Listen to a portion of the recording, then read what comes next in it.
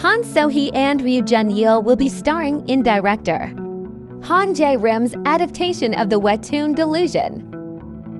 The Delusion webtoon set in 1935 Jiangxiang and 1800s Shanghai is a mystery thriller that tells the story of what happens when artist Yan Aiho is commissioned to paint a portrait of the mysterious woman Song Jinghua and visits her hotel.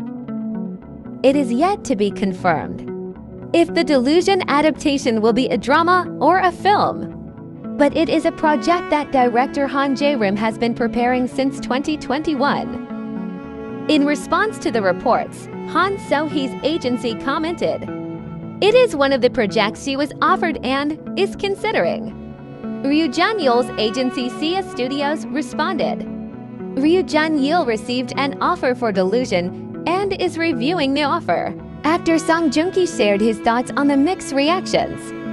Pouring in for his latest film My Name is Ro Ki-won. In an interview, he expressed that he didn't anticipate the mixed responses from the audience, but emphasized his subjective satisfaction as a lead actor in the project. He added, in fact, I couldn't sleep yesterday and ended up searching for my name, is Ro Ki-won in English. I found YouTubers reviewing it, whether it's positive or negative. I can't resist being curious. My Name is Ro Ki-won ranked third in the Netflix Global Top 10. Film's non-English just three days after its release, while performed decently on Netflix.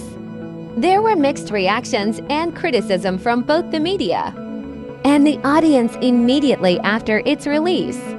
My Name is Ro Ki-won tells the story of Ki-won, a North Korean defector who arrives in Belgium with the last hope of his life, and Marie, a woman who has lost the meaning of life.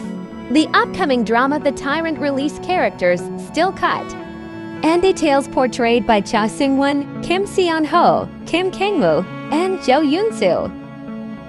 Kim Seon-ho will showcase his mysterious charm as Director Choi, a figure connected to a government agency but operating unofficially as the mastermind behind the Tyrant program. Cha Seung-won will take on the role of In-sang, a former agent. Kim Kang-woo is a member of an overseas intelligence agency determined to eliminate the last remaining sample of the Tyrant program. Rookie actress Jo Yoon-soo, who portrays the skilled engineer Ya Kyung, tasked with stealing the last sample from the Tyrant program. Disney Plus's original series The Tyrant is set to be released in the second half of 2024.